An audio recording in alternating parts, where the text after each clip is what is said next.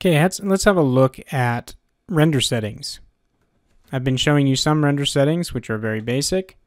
And we had the interactive renderer going on here. We can also go to the regular frame buffer here. See what we've got. Okay, all I'm using for these settings is the basics. And that's what's awesome about the latest V-Ray is that now we have progressive rendering, which progressively makes the rendering get better and better instead of rendering as buckets. You can still do bucket rendering, but I actually prefer progressive now because I can see my progress as I go. And then really the only settings we need to mess with, and I find myself only adjusting these 95% of the time, and that's just the noise threshold and the render time. Okay, so with progressive, it's all based on min, min and max subdivisions. Those can remain as they are and all we really need to do is adjust the render time and the noise threshold. Okay, so noise threshold 0.005 is a very low noise threshold, and that gives you a very high quality rendering. The lowest you would ever need to go is probably 0.001, but 0.05 is almost always sufficient. All that does is, all these settings will do is render until it gets to this noise threshold. And that's because I set the render time minimum to zero, which means it will render indefinitely. If I put it to 0.1, it would only render for 0.1 minute. If I rendered it, if I put it to 1, it would render for 1 minute. It would give me the best rendering it can in 1 minute. But it probably wouldn't get to 0.05 because 1 minute isn't long enough. So you can set this to 0. It will render indefinitely until it gets to 0.05. You can also set this to 0 and say render for 5 minutes. I don't care what the noise is. I only have five minutes to render. Give me a five minute rendering. Okay, and it'll do whatever it can in five minutes and then it'll stop. So basically what I'm finding is that I just leave this at zero most of the time and just say, okay, I need a draft rendering, put it at 0.5. I need, or, or say, I need a draft rendering, render it for one minute. Okay. And then when I want a high quality render, I just set this to zero and say render till you got 0.005 and then you just depending on your computer you get what you get you know? That might take 10 hours or it might take two hours or it might take a half an hour but you know that at the end you'll have the right quality. Okay on gi i'm just using brute force which is noisier and takes a little longer. Traditionally i've found that it works pretty well now. It's not cutting any corners though brute force.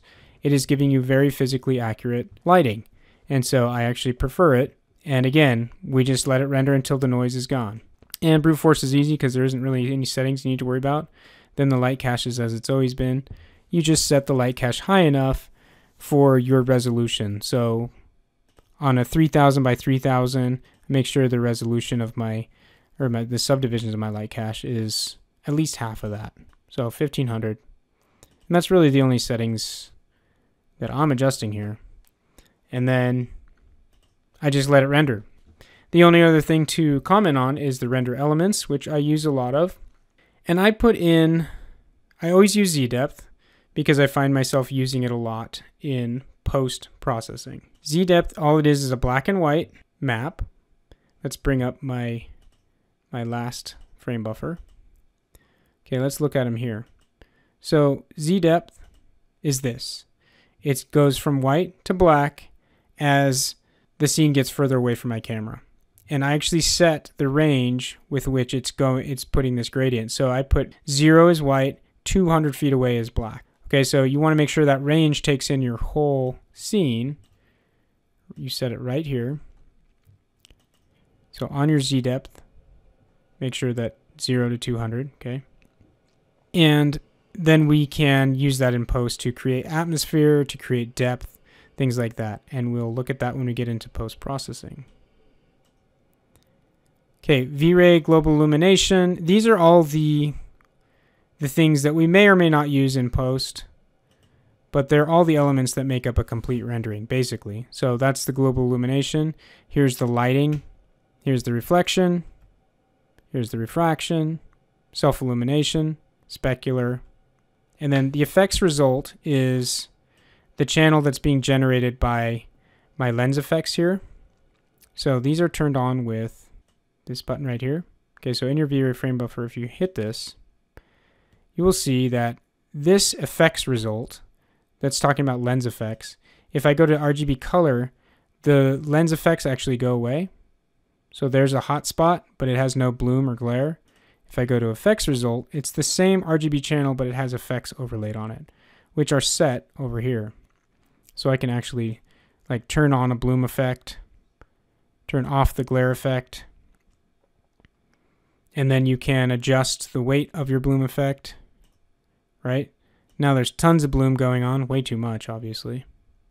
Okay, so I chose to go with a very subtle setting here, where I have the glare showing up, but it's hardly noticeable, but it looks better than this, I think. Okay, so that's that last channel there. Those are all the channels I use. The way I use these channels, like let's say V-Ray lighting, if I wanted if I was looking at my scene and thinking, you know what, there just isn't quite enough light getting on this wall over here, well, I could take this V-Ray lighting and put it as an add layer on top of my RGB channel, and it would add this light on top of the RGB, doubling the light value of that area, and then I could turn it up and down in Photoshop. We will look at all that when we get to post. But if there's any chance you might want to use it, render it out as a channel. Okay, the only other things to look at here are what we've already mentioned with this exposure button here, or this show corrections control button. So this brings up exposure. Let's go back to our effects channel. Okay, this rendering doesn't look like much, obviously, but we can change the exposure here, like this. Highlight burn, bring some of those really highlight spots back to us. Okay, here they're kind of blown out, here they come back. So this kind of flattens out your image a little bit, so be careful of that. Contrast is exactly what it says, obviously. Okay, and then there's hue saturation settings, which self-explanatory, I think. Mm-hmm. There's color balance settings. That's really what we need to worry about here. There's the white balance also. Okay, so white balance can have a huge effect. Remember I said these are really, really warm lights. So the white balance actually comes into play here. So this is interesting. If I put it, the white balance towards a very high temperature, then these lights become really, really warm.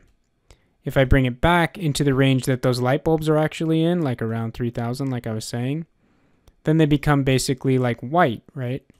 Now it's white light, but the sky looks really, really blue.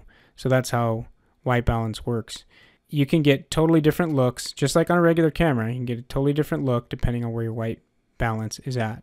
So that's another thing to keep in mind. You can set that in camera or you can set it here, just like you can exp set exposure in camera or you can set it here in the V-Ray frame buffer. So I actually like this somewhere maybe like right around here. That's cool. And then maybe a little more exposure.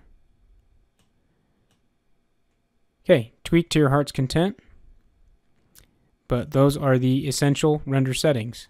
Next video, we're going to finally put in our HDRI and start honing in the lighting to exactly where we want it.